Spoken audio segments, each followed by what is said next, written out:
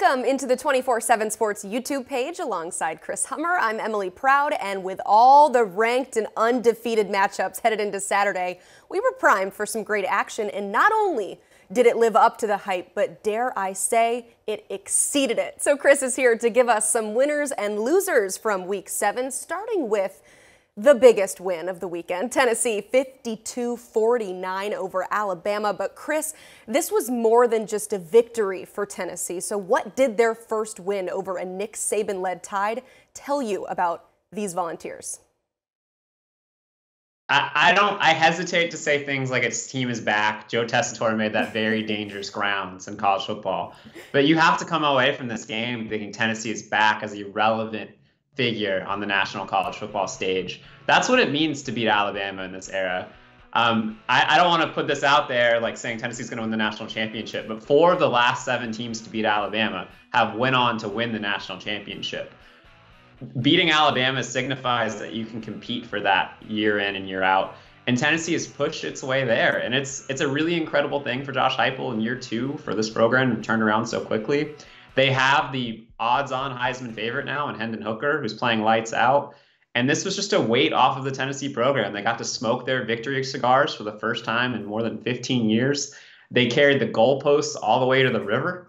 Um, it was that kind of celebration in Knoxville, and it was a uh, it was a momentous thing for both Tennessee and college football because it's frankly good to have Tennessee back as a program that matters nationally.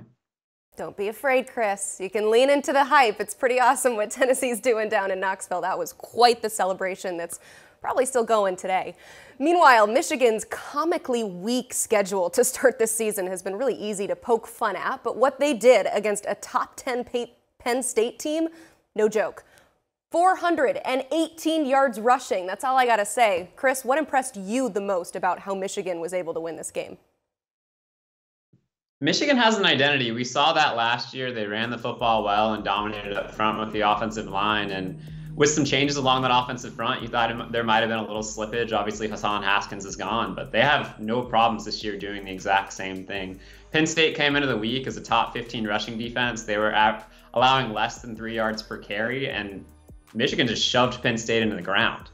Like that Michigan offense and that offensive line and that running game led by Blake Corum is something you can count on week in and week out. And I think Michigan, along with a pretty strong defense, has once again established itself as a college football playoff threat. So you have to feel really good about Michigan. You mentioned the comically weak schedule. It really isn't difficult until the game. I think they have Michigan State, Rutgers, Nebraska, and Illinois before they get Ohio State. So the runway for Michigan to an 11-0 start is right there. And I think the game will probably feature two undefeated teams thanks to this win for Michigan over Penn State. Okay, we can look ahead and get excited, uh, but Michigan probably not looking ahead, just on to the next one. Well, our last winner is the last of these teams to win yesterday. That's Utah. Cam Rising finally showing this season what we knew he was capable of. It's taking everything in me to not say he rose to the occasion. I won't do it. But Chris, what are your big takeaways from this one?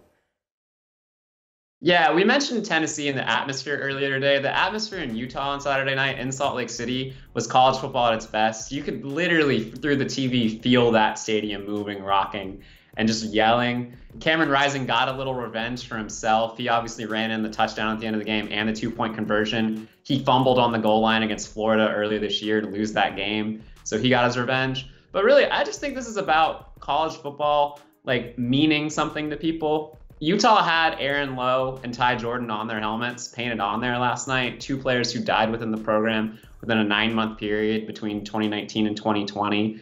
Like you could just feel the emotion coming off of Utah. This was a massive win for the Utes. It keeps them in the Pac 12 title race. It knocks USC off the top of the perch of the Pac 12. So this game just meant everything. And I think Utah, after two rough losses earlier this season to Florida and UCLA, showed it's still one of the premier teams out west.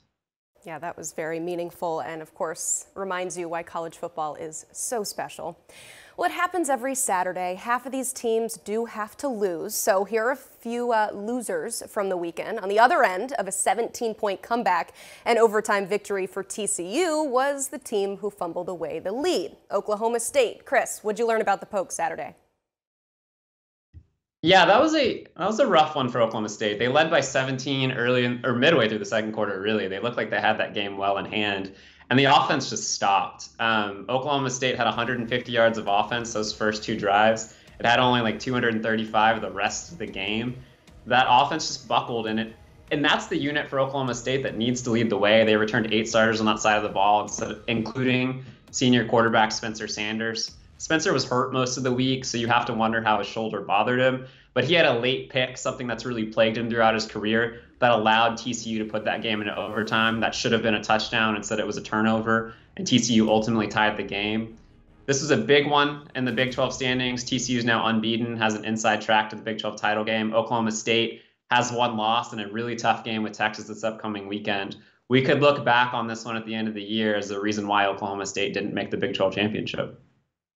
Crazy. All right. Well, it was a bad day to have the word state in your name. Here's the kind of state stat I know you want, not including a game where two state teams were playing each other. We call that state on state crime. Power five teams with state in the name went one and five yesterday, with Michigan State being that lone victory, but we're talking about losers here. All that being said, let's discuss Penn. Penn State. Now 0 and 9 against top 10 teams in the last five years. It was the big house beat down, just another example of just how wide that gap is between the Nittany Lions and the Big Ten elite. Yeah, and I don't want to turn every one of these takes into a big picture thing, but I think you have to with Penn State. This is a team that in 2016 won the Big 12 ti- Big 10 title. They beat Ohio State. They missed out on the playoffs, um, obviously in controversial fashion. But this was a program you thought was ready to take the next step under James Franklin. And frankly, they've plateaued. Like they just haven't been able to do it. Jim Harbaugh got a ton of crap for his record and his career against Michigan State, Penn State, and Michigan early on. But we don't talk about the fact that James Franklin's four and 13 overall against Ohio State and Michigan in his career at Penn State. That's a not a good record, obviously. And he gets paid. He has a 10-year, 75 million dollar contract. He's one of the highest paid, best compensated coaches in college football. You expect more from this team. You expect them to pull out some of these close games against top 10 teams because that's where Penn State wants to be. And we're just not seeing it happen. And this game wasn't even close. And I don't think the game against Ohio State later this year is going to be close. So Penn State still has a lot of climbing to do. And that's something we expected to happen a long time ago when James Franklin first arrived on the scene at Penn State. Yeah, these big games are a good measuring stick and not quite there yet for Penn State. Meanwhile, NC State went on the road and lost to a still unbeaten Syracuse team in the Dome. And the loss, of course, was one thing, but it was a rough day on many fronts for the Pack, Chris. Yeah, as you mentioned earlier, half the teams in college football lose every week, but not half the teams in college football lose their star quarterback ahead of the game. NC State announced prior to kickoff that starting quarterback Devin Leary is going to be out for the season with a injury, and that's just a devastating blow for NC State. They came into the year with top 10 expectations. This was a team that you thought might win the ACC. They lost a close one to Clemson, but you still thought with Devin Leary under center and a pretty dominant defense that NC State could go on to have a 10 win season, maybe make a New Year's Six bowl, have a really special run, but that feels done after Devin Leary being out for the year. NC State's offense sputtered without him. Syracuse is now the darling of the ACC. And it's just a really rough year for an NC State program that had such high expectations. Devin Leary is kind of the nail in the coffin to what NC State fans probably hoped was going to be a special 2022 campaign. If you see an NC State fan, just give them a little hug a little smile, something. Rough day for them yesterday.